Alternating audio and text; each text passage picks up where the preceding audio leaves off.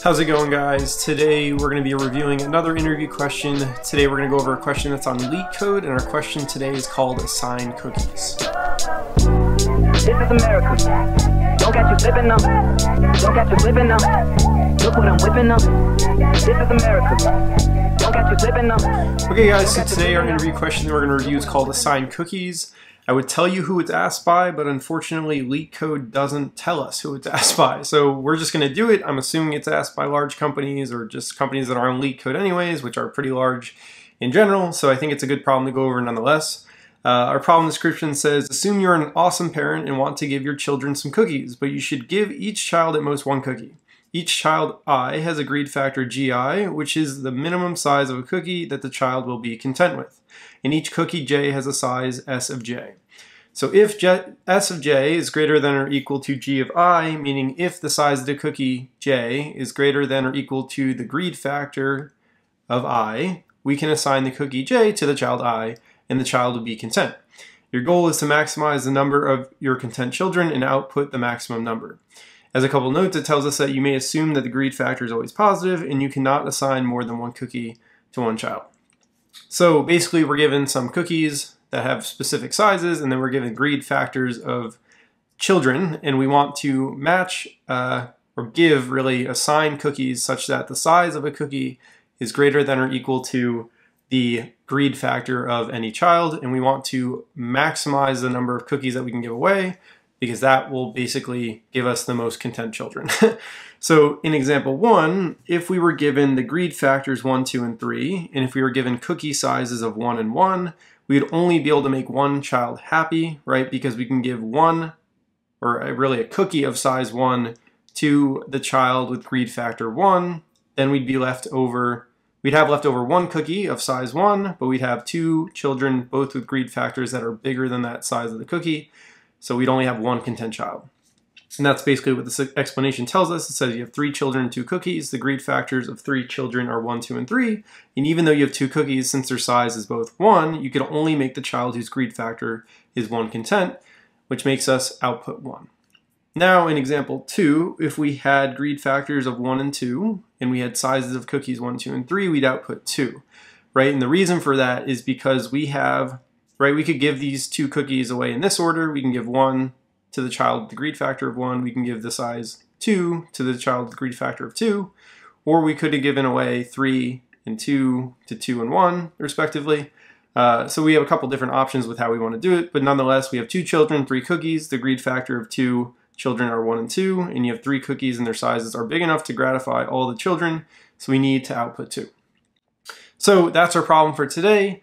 To solve this, this is actually a greedy approach. So what we want to do is we want to try to give away the largest cookie to the child with the largest greed factor. And the reason for that is because that's what's going to make sure that the most amount of children are happy, right? So the largest cookie naturally should then go to the greediest child.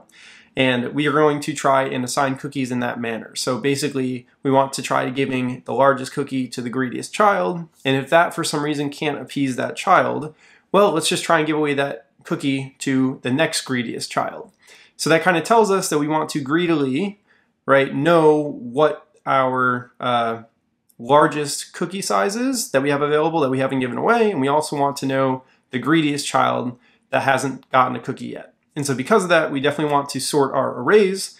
So because G, right, the greed factor, and S, the size of each cookie, are not sorted, they're not given any particular order, uh, to find, let's say, the biggest cookie on any iteration, we'd have to do a linear scan. So let's just eliminate that overhead for both those arrays by sorting them. And then basically what we can do is we can have pointers to point at the largest cookie and a pointer to point at the greediest child, and we could basically make a comparison. If this cookie is big enough to appease this child and make them happy, then we can give them, right, we can give that child that cookie, we can move our pointer uh, down for our uh, size of cookies and we can move our pointer down for the greediest child such that we don't assign uh, cookies that we've already given away and we don't give away, we don't consider a child twice either. So we could basically try and give away cookies in that manner. And if we ever can make a child happy, right, we could do that assignment. We can count that as a number, we can increment a count for the number of content children that we have. And then let's say for some reason that that isn't actually appeasing them, right? Let's say that cookie's not big enough. Well, let's just try and give away this cookie to the next greediest child and see if it makes a difference. So let's get started with our code. That's kind of what we're going to try and do here. So the first thing we said we want to do is just sort our arrays. So I could say arrays.sort g and arrays.sort s. And then we just need a return value, right? And our return value is going to be the count of however many content children we have. So we can say int content children, and this will start at zero. And then we need our pointers, right? We need a pointer i and a pointer j to keep track of the largest cookie and the greediest child. So we'll say int i equals g.length minus 1, so that will point at the greediest child, and int j equals s dot length minus 1, and that will point at the largest cookie.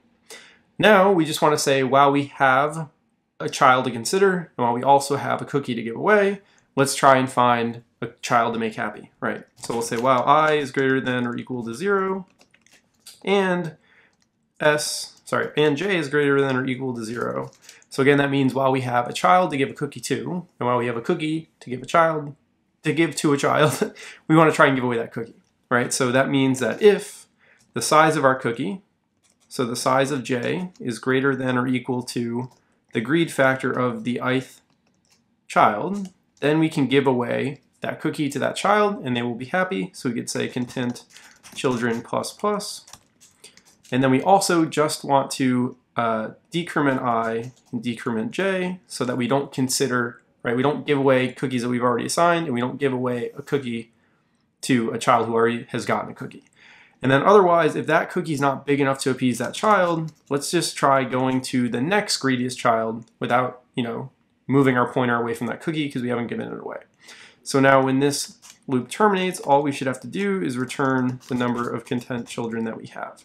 So now let's talk about our runtime and our space complexity.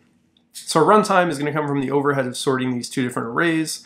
And these two different arrays might have different lengths, right? So we want to take that into account in our runtime. So we could say that our runtime here is going to be O of n log n plus uh, m log m, right? Because in case the size of the arrays are different, we have to take that into account. So I'd say the space complexity is n log n plus m log n. And then in terms of our, sorry, the runtime, in terms of our space complexity, we just have a few different variables, right? So that's going to be constant space. So you could say the space is constant or O of 1. So now let's run this. Let's make sure that it works. Awesome, and it does. So guys, that's how to solve assigned cookies uh, in Java. I hope this was helpful. If you guys enjoyed this video and found it helpful, do me a favor and leave the video a like and subscribe to the channel for more. And I'll see you guys in the next one. Ooh, yeah. On my Kodak. Black. Ooh, know that. Yeah, yeah. Ooh, get it. Yeah, Ooh, get it. Hundred bands, hundred bands, hundred bands. Contraband, contraband, contraband, contraband. I got the plug on Oaxaca. Whoa. They gonna find you like fucker. Flow. America. I just checked my phone and listen. You motherfuckers owe me.